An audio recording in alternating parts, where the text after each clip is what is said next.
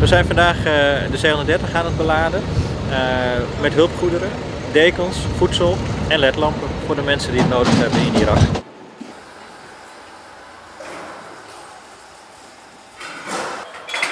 Als de goederen aankomen op hebril, dan gaan we ze uitladen. We dragen ze over aan de VN en de VN zorgt ervoor dat die via de weg eh, bij de mensen terechtkomen.